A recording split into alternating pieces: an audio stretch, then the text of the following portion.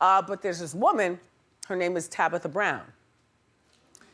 Oh, you know her? Clap if you know her. Okay, good, good, good, good. I don't know her. Well, she's an influencer and she's saying that she's retiring her husband. He's been a police officer for 15 years and he wants to live out his dreams. Take a look. I have said to him, babe, it's time. It's time. It's time for him to dream again. It's time for him to uh, think like a child and think, ooh, when I grow up, what do I want to be?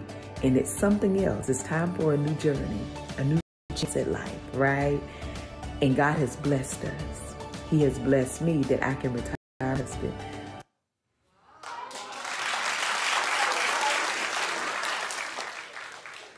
Nope. I was married to one of those.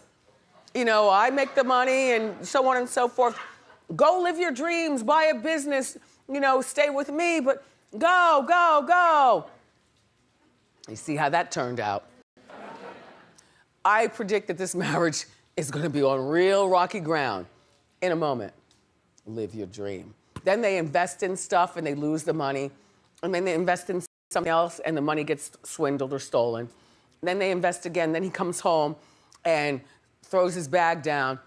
And he's like, and she's like, what? What? And he's like, I can't do this. And this is your fault.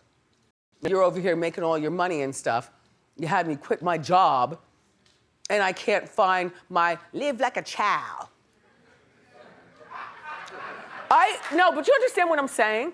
Do you understand what I'm saying? Like, no, uh-huh. no, you work. Uh, being a cop was a big part of his identity.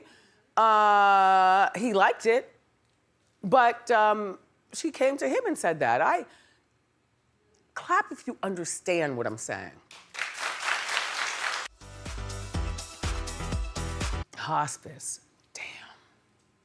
Okay, I don't know this woman because I don't follow social media like that regarding influencers and what all goes on, I, you know. Uh, but woman, her name's Tabitha Brown. Oh, you